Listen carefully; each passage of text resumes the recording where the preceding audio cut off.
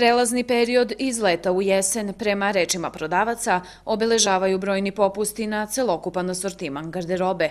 Slaba kupovna moć, kako kažu, utiče na to da se zainteresovani uglavnom odlučuju da novac daju za ono što im je trenutno najpotrebnije i da se prilagođavaju budžetu kojim raspolažu. I šta je ono što mušterije najčešće kupuju u ovo doba godine, pošto evo stiže nam jesen? U ovo doba godine ide samo sezonska roba. Znači, ono što sad treba da se kupi malo toplije, neki džemper, neka toplija košulja, možda neka tanja jaknica, to je to što sad ide.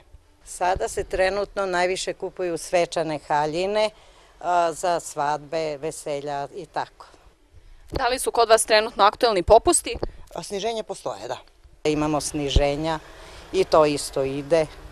Letnja roba ima 30%. A da li praktikuju ono pravilo da leti kupuju za zimu, a zimi za leto? Mi nismo u takvoj mogućnosti. Možda neko može, ali grad Vranje ne baš tako. Znači kupuju ono što im je trenutno najpotrebnije? Jeste, jeste, samo što je potrebno. Pa van sezone. Van sezone se više kupuju artikli, pošto su jeftini. Kupci kažu da su cene visoke i da zbog toga čekaju akcije. Takođe, ističu da u kupovinu idu isključivo po potrebi i da odnos cene i kvaliteta komada koji su u ponudi u većini slučajeva nije srazmeran. A pratite li akcije sniženja da biste kupili ono što vam se sviđa? Pa i ne pratim. Da. A koliko često kupujete garderobu? Mm, po potrebi. E pa čekam, čekam to.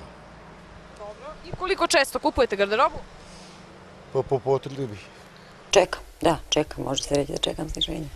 Ono u čemu su se prodavci i kupci složili je to da je najisplativije kupovati van sezone ukoliko za to postoje uslovi, jer kada se prodajni talas stiša, omiljeni komad možemo pronaći po drastično nižoj ceni.